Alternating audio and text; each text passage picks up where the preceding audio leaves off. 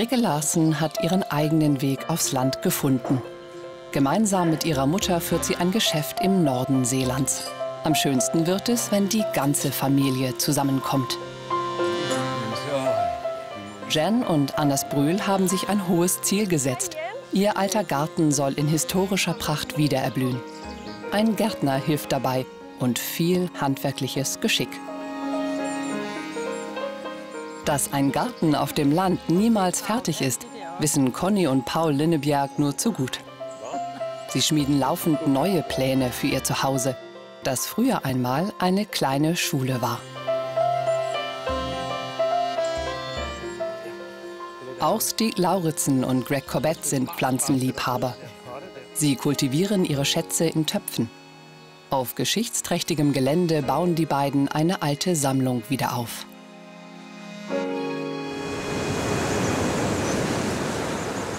Die Insel Seeland im Osten Dänemarks, eingerahmt vom nördlich gelegenen Kattegat und der Ostsee. Einsame Strandräuber zieht es hierher, jetzt Mitte Juni, bevor die Gäste aus dem nahen Kopenhagen anreisen.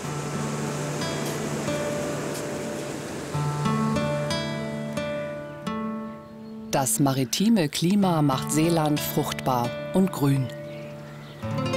Ein Regenschauer ist auch im Sommer keine Überraschung. Und doch gibt es sie. Echte Sommertage voller Wärme und skandinavischem Licht. Tiefe Wälder und größere Seen sind allerdings die Ausnahme auf Seeland. Das Bild wird von der Landwirtschaft geprägt. Im Süden der Insel, eingebettet zwischen Gersten- und Weizenfeldern, liegt der Hof Langebeck-Gohr.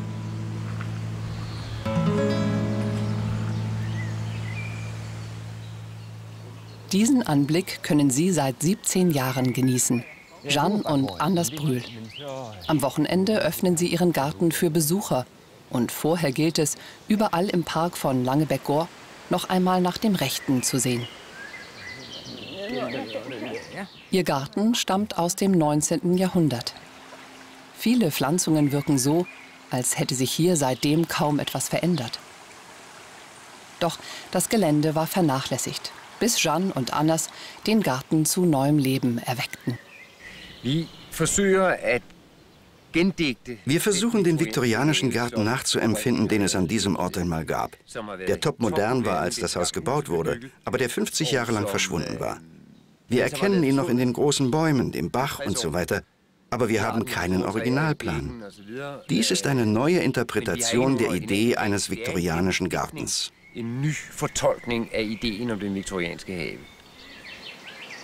Mit ihrem Vorhaben sind Jeanne und Anders nicht auf sich allein gestellt.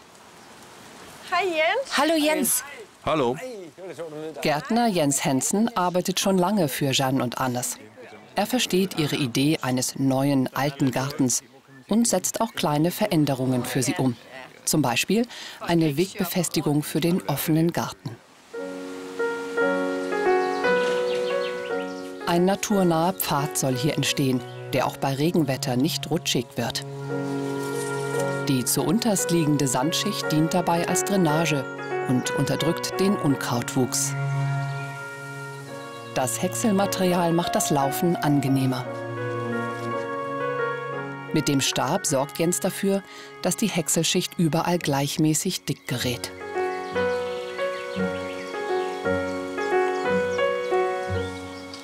Brandkraut, Sterndolden und Astilben sind die Arbeit wert. Schnell lässt sich so ein sicherer Pfad durch den Garten anlegen. Mit Hilfe dieser kleinen oder größeren Veränderungen ist aus Langebeck-Gohr wieder ein echtes Schmuckstück geworden. Auch die umliegenden Felder gehören zum Anwesen. Das Stroh vom Getreide, das im Herbst abgeerntet wird, nutzen die Brühls als Brennstoff für einen Ofen, mit dem sie ihr Zuhause heizen. Aber erst einmal ist Sommer und der wird ausgekostet. Der Küchengarten ist vor allem Jeans Terrain. Im Juni kommt sie oft hierher, um Früchte für Marmelade und Torten zu ernten. Ihre Rezepte hat sie genau im Kopf. Und schon bald werden die Besucher des offenen Gartens von den Süßigkeiten probieren können.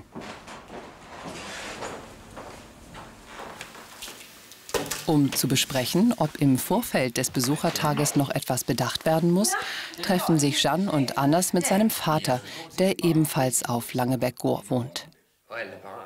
Die Gestaltung des Gartens überlässt Niels Brühl gern der jüngeren Generation. Aber er genießt die Inspiration, mit der Jeanne das Haus auch innen im Laufe der Jahre verschönert hat.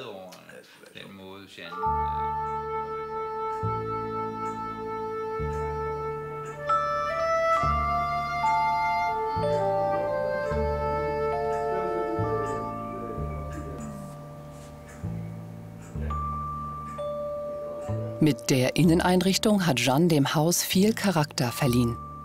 Auch wie das Gebäude von außen wirkt, ist für sie von Bedeutung.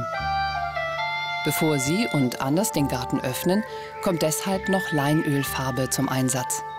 Eine sehr alte, traditionelle Farbe, die früher weit verbreitet war. Es ist sehr wichtig, dass man erkennt, welchen Stil und welche Architektur das Haus besitzt und solche Materialien wählt, die zum Stil passen, wenn man nicht am Ende die Stimmung und die Atmosphäre zerstören will, die das Haus hat. Dieser Fauxpas wird auf Langebeck-Gohr nicht passieren. Hauptsache nur, alles trocknet, bevor die Gäste kommen. Geschwungene Geländeformationen bestimmen das Bild Südseelands. Fruchtbare Moränenhügel blieben hier nach der letzten Eiszeit zurück. 12.000 Jahre ist das her. Inmitten dieser Wogen aus Erde liegt heute eine ehemalige Landschule. Allerdings, so friedlich das Bild auch sein mag, eines ist hier nicht angesagt. Und zwar Faulenzen. Sobald die Vögel nicht mehr in der Hecke brüten, machen sich Conny und Paul Linnebjerg daran, sie zu schneiden. Für viele Gartenbesitzer ist das eine lästige Pflicht. Aber Conny ist nicht zu bremsen. Denn hier ist ihr grünes Reich, ihr Ort, um sich zu entfalten. An dem auch Unkräuter zu ihrem Recht kommen. Brennnesseln zum Beispiel, Giersch und andere Gartenbewohner.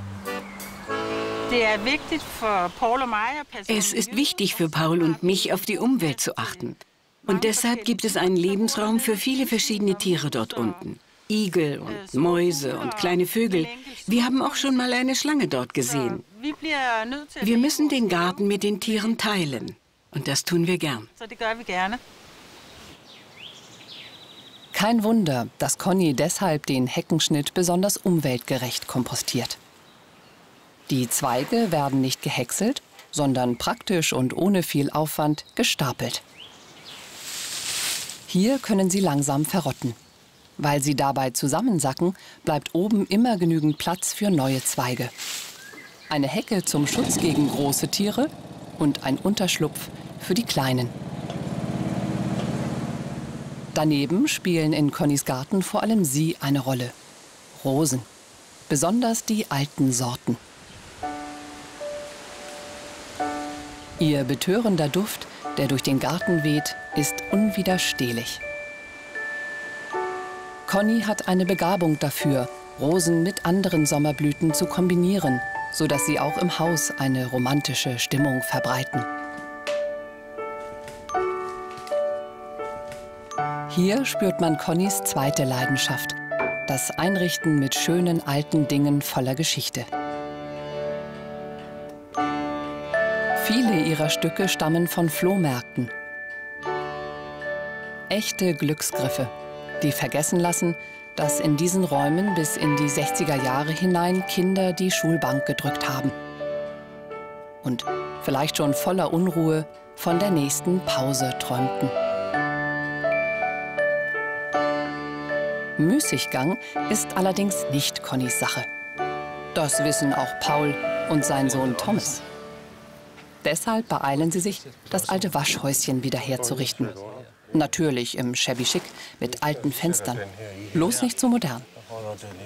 Ihre Wünsche erfüllt Paul seiner Conny gern. Wenngleich noch nicht klar ist, ob auch noch ein neues Dach fällig wird. Fest steht, Haus und Garten sind auch für Paul Lebensinhalt. Das ist unser Altenteil. Hier bleiben wir so lange, bis wir überhaupt nicht mehr können. Ich werde dich schon auf Trab halten. Dass ihr das bislang gut gelungen ist, beweist der Blick auf zahlreiche Winkel des Gartens. Kaum zu glauben, dass hier nur eine Rasenfläche und ein paar Bäume wuchsen, als Conny und Paul den Garten vor 17 Jahren übernahmen. Überall erzählen Pflanzen auf ihre stille Weise, mit wie viel Liebe hier schon ein- und ausgetopft wurde. Ich habe viele Ideen im Kopf und Paul glaubt vielleicht nicht, dass alles so schnell gehen muss. Aber ich muss vorankommen. Naja, die Dinge brauchen eben ihre Zeit. Wir können ja nicht alles fertig bekommen. Das, was wir nicht schaffen, das schafft der Nächste, der dies hier kauft. Ich bin eine Frau und Paul ist ein Mann. Das ist der Unterschied. Ich mache das Grobe. Ja, das stimmt. Und du hast die Ideen. Das ist gut so. Über ihr nächstes Projekt braucht Conny nicht lange nachzudenken. Ihr großes Beet vor dem Haus muss umgestaltet werden. Im großen Stil. Manche Pflanzen dürfen in der Erde bleiben, aber viele sollen ausgegraben und woanders wieder eingepflanzt werden. Vor allem das Unkraut muss weg, das hier überhand genommen hat. Paul schwant schon, was auf ihn zukommt. Doch natürlich wird er es anpacken. Vielleicht schon im Herbst. Denn Connys Märchengarten ist schließlich auch seiner.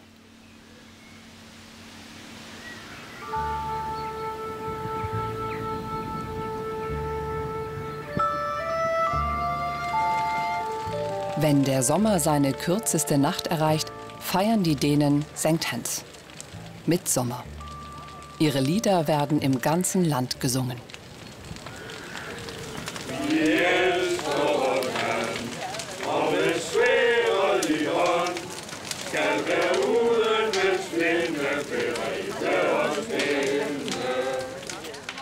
In den Liedern geht es um die Liebe zu Dänemark und auch darum, wie schön es hier vor allem im Sommer ist. Dieser Stolz der Sänger auf ihr Land hält auch einer Betrachtung bei Tageslicht stand. Zum Beispiel auf Langebeck-Gohr. Gärtner Jens ist in Aufbruchstimmung. Heute ist der Tag des offenen Gartens. Es gibt noch einiges zu tun. Auch Jeanne Brühl kontrolliert noch schnell, ob ihre Pavillonfenster wohl getrocknet sind. Und natürlich darf an einem richtigen Festtag auf Seeland auch sie nicht fehlen. Die dänische Flagge, der Dennebro.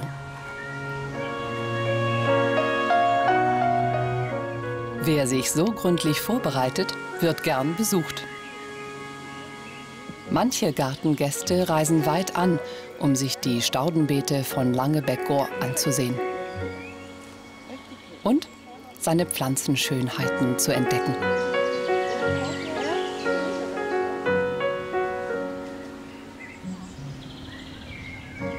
Nach dem Rundgang freuen sich manche Besucher auf eine kleine Pause. Nur gut, dass Jeanne aus den Schätzen ihres Obstgartens ein paar Kleinigkeiten gezaubert hat. Beste Gelegenheit, um sich mit anderen Gartenliebhabern auszutauschen. Wir genießen es sehr, weil wir selbst unseren Garten lieben und genießen macht es uns viel Freude, ihn anderen Menschen zu zeigen. Das Gartenpublikum ist immer sehr freundlich und das macht es zu einem noch größeren Vergnügen. Und an diesem Tag spielt sogar das Wetter mit auf Langebeckohr. So kommen Düfte und Farben gebührend zur Geltung. Vielleicht ein wenig so, wie es auch vor mehr als 100 Jahren in diesem Garten der Fall war. Neben den Gärten sind auch manche Wälder auf Seeland Ziele für Naturliebhaber. Viele Eichen und Buchen wachsen hier. Sie geben die wilden Nachbarn ab für eine geordnetere Natur. Wie hier im Park von Gisselfeld Kloster in der Mitte von Seeland. In Nordeuropa zählt er zu den schönsten Landschaftsparks im englischen Stil. Seinem Namen zum Trotz stand hier allerdings nie ein Kloster, sondern immer ein Schloss. Im Park zu leben und zu arbeiten ist eine große Inspirationsquelle für die Gartenarchitekten Greg Corbett und Stieg Lauritzen. Im Haus des einstigen Hauptgärtners haben sie ihren Arbeitsplatz und ihr Zuhause gefunden. Ihre besondere Leidenschaft gilt den Kübelpflanzen. Hinter ihrem Haus, vor dem Kloster, liegt das Gebäude, für das ihr Herz schlägt, seit sie vor elf Jahren hierher zogen. Ein Gewächshaus aus dem 19. Jahrhundert. Als sie es übernahmen, war es baufällig. Seitdem ist viel Arbeit in die Renovierung geflossen. Das Paradehüset, das Glashaus also, sollte wieder zu dem werden, was seine Erbauer einst im Sinn hatten. Äh, äh, das Grafenpaar drüben vom Schloss liebte Blumen. Die beiden haben eine fantastische Sammlung aufgebaut, die im Gewächshaus stand. Und genau diese Sammlung versuchen wir auf eine neue Weise wiederzuerrichten und das Haus wieder zum Blühen zu bringen. Das ist ihnen gelungen. Vor allem subtropische Pflanzen wachsen heute wieder hier. Fast alle stehen in Töpfen.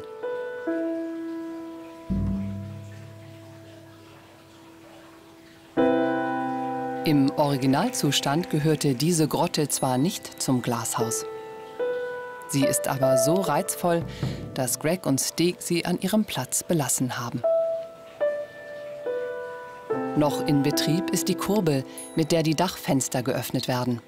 Ganz wie im 19. Jahrhundert. Zur Sammlung gehören heute viele Pelagonienarten und Sorten, also Geranien. Nicht alle von ihnen haben so prachtvolle Blüten, manche aber Blätter, die zum Beispiel nach Orangen duften. Hinter dem Gewächshaus haben Steve und Greg einen kleinen Garten angelegt. Regelmäßig öffnen sie ihn für Besucher. Sie wollen zeigen, dass schöne Kombinationen von Farben und Formen nicht nur in großen Gärten möglich sind. Auch bei wenig Platz kann man ihrer Meinung nach seiner Passion für Pflanzen frönen. Und Leidenschaft braucht ein Gärtner, findet Stieg. Was ihn wundert, sind manche Planer, die zwar wichtige Entscheidungen über Gärten treffen, selbst aber gar keinen haben. Wenn man als Landschaftsarchitekt in seinem schicken Büro sitzt, hat man keine Verbindung zur Erde. Aber wenn man mit der Erde arbeitet, muss man schmutzige Fingernägel haben und die bekommen wir hier im Paradehuset. Wir können Pflanzen ausprobieren, bestimmte Farben und sehen, wie sie zusammen wirken. Manches ist toll und manches nicht. Hier in Gisselfeld klappt das recht gut und für uns ist dies wie ein kleines Stück vom Paradies.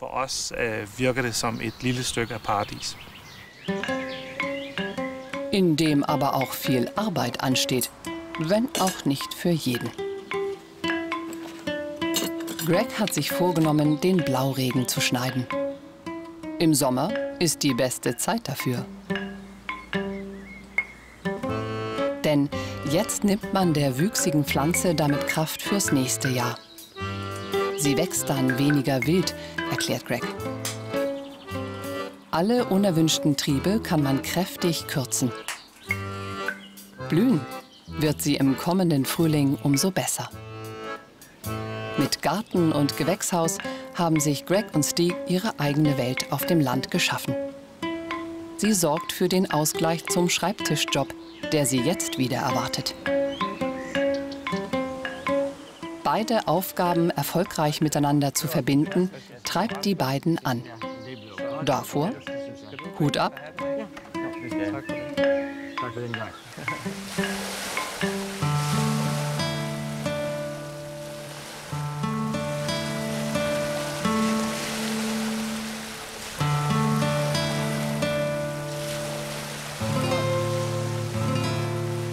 Seeland ist die größte der dänischen Inseln.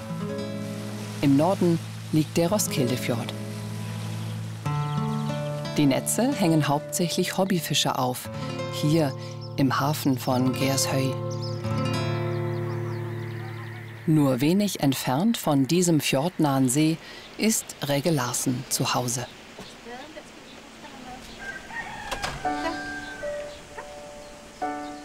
Ein Leben im Grünen, vor allem auch mit den Töchtern. Zeit für den Garten und seine Geheimnisse. Regge ist das alles wichtig. Schließlich soll die kleine Emily Kräuter naschen und irgendwann eine Lupine von einer Peonie unterscheiden können. Ich habe einige Jahre in Kopenhagen gewohnt, aber ich bin jedes Wochenende raus zu meinen Eltern gefahren, weil ich es einfach vermisst habe, hier draußen zu sein. Ich konnte meinen Mann begeistern. Wir fanden dieses Haus. Und so haben wir hier unsere Kinder bekommen. Dies war auch ein Ort, an dem ich Kinder haben wollte. Auf jeden Fall nicht in der Stadt. Um Kameli in die Tricks des Kräuteranbaus einzuweihen, pflanzt Ricke eine Ananasminze. Dabei setzt sie einen Eimer ohne Boden ein. Das sieht zwar zunächst nicht schön aus, aber Minzen wuchern stark, erklärt sie dem Mädchen. Man muss die Pflanze ein wenig im Zaum halten, sonst wandern ihre Wurzelausläufer durch den ganzen Garten. Nach ein paar Jahren sollte man die Minze teilen wenn ihr der Platz im Ring zu klein geworden ist.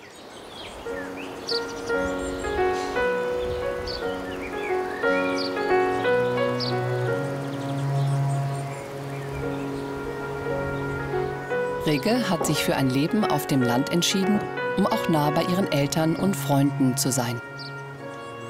Im Sommer sitzt sie am liebsten mit ihnen draußen am See hinterm Haus. Bei diesen Anlässen gelingt es ihr, mit wenigen Handgriffen viel Atmosphäre zu schaffen.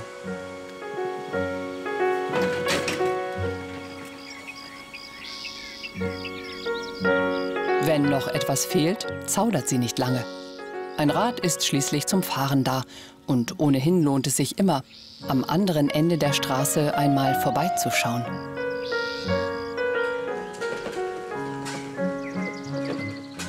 Denn ganz in der Nähe, in einem ehemaligen Gärtnerhaus, führt Regge ein Geschäft. Seit 13 Jahren. Heute hat sie frei.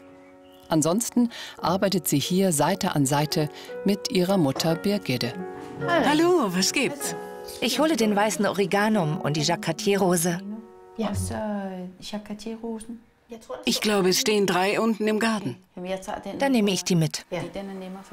Die Einrichtungsstücke, die die beiden anbieten, sind Unikate. Grelle Farben sucht man hier vergebens. Seit circa 15 Jahren gibt es in Dänemark diesen sehr weißen Stil, der bei uns französischer Landhausstil heißt. Aber nachdem er sich fast überall in Europa ausgebreitet hat, heißt er dort skandinavischer Landhausstil, weil wir genau gezeigt haben, wie er funktioniert. Das Dekorieren und Gestalten liegt Regge schon seit Kindertagen im Blut. Nach dem Studium arbeitete sie zunächst in einem Verlag in der Stadt. Als sich die Möglichkeit bot, in diesem Garten und Haus auch beruflich ein neues Leben zu beginnen, griff sie zu. Und ist dabei äußerst mobil geblieben.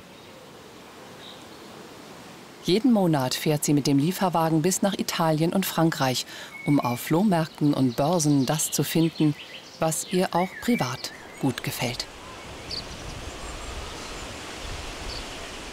Ein ländliches Leben und eine Arbeit, die ihr Spaß macht. Diese Mischung ist für Rigge perfekt. Für manche mag es etwas sonderbar klingen, aber auf dem Land zu wohnen ist für viele ein moderner Lebensstil geworden. Wir kennen viele Leute, die auf der Suche nach einem Haus auf dem Land sind und die auch hier draußen wohnen. Es ist prima, nach Kopenhagen zum Shoppen zu fahren, aber es ist auch schön, wieder nach Hause zu kommen. In der Küche hat Regge Unterstützung bekommen. Und ihr Mann Lars setzt ihren eigenen Vorbereitungen die Krone auf. Wer hat den gemacht? Na, Mama. Ja, genau. Mama hat ihn gemacht. Einfach mal für zwei Stunden zusammenkommen und die Seele baumeln lassen. Gemeinsam mit der Familie und Freunden den Spätnachmittag genießen. Auf Seeland gelingt es Menschen wie Rigge, ihre Träume von einem erfüllten Leben auf dem Land in die Tat umzusetzen.